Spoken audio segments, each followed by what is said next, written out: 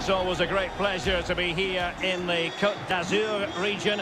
We find ourselves in Monaco with football action on the menu. I'm Derek Ray, and sitting alongside me, ready to provide all the technical and tactical analysis, is Stuart Robson. I'm very much looking forward to bringing you live action from Liga. It's Monaco against Paris Saint-Germain. Well, Derek, we can talk about coaches and their methods, but it's now down to the players. Which ones are going to stand out, who will affect the game, and who will have the greater desire? It should be a cracking game, though.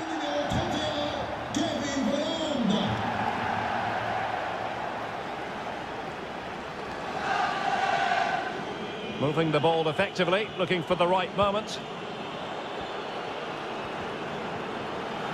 Mbappe. But nothing comes of it. He cuts it back. The goal scored by Kylian Mbappe. He's just so capable from these positions. Well, here's the replay, and when you've got the ball at the back, you've got to pass it forward, and he doesn't do that there. He has his pocket picked, and he's been rightly punished.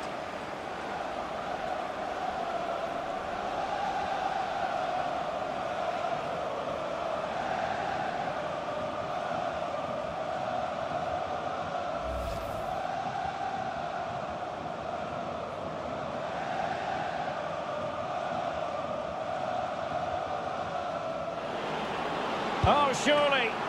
Oh, he wasn't ruthless enough in front of goal. Keeper has it now. Takes it on. Oh, goodness me, off the post.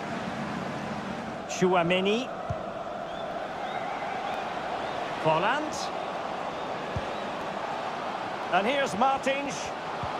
Volland. Martins. No shortage of excitement. Level again. No wonder they're excited. Well, I have to say, this is a really good goal. Just look how well balanced he is. He knows he's going to be under pressure, but he shows great composure to hit the target.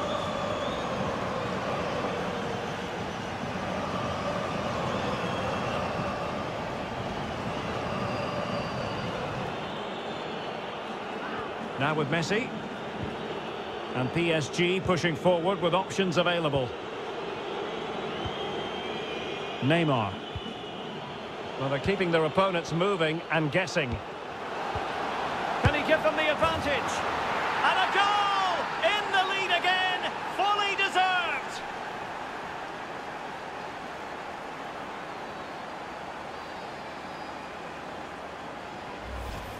Well, as you can see here, the build-up is patient, it's precise and penetrative, which opens up the opposition. And then what a strike. That's hit with such ferocity. Certainly no stopping that. That's a great goal.